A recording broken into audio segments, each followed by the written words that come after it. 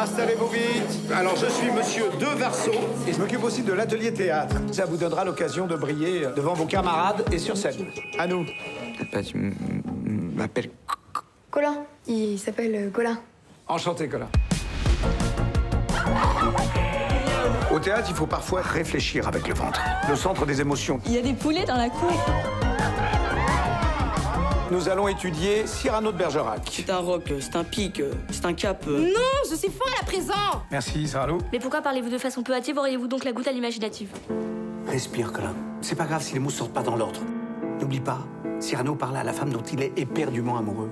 Alors vas-y, tout simplement, doucement. Si je bégais, ça serait pour ralentir le temps. Comme ça, je deviens pas euh, un adulte.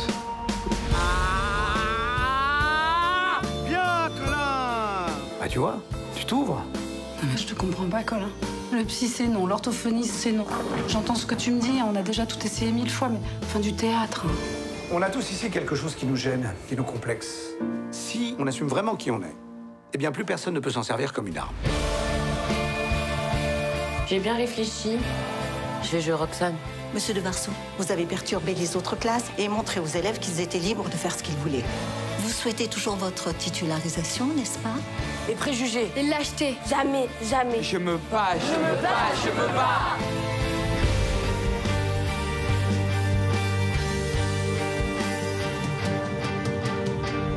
Sur scène, tu peux être qui tu veux, même toi-même.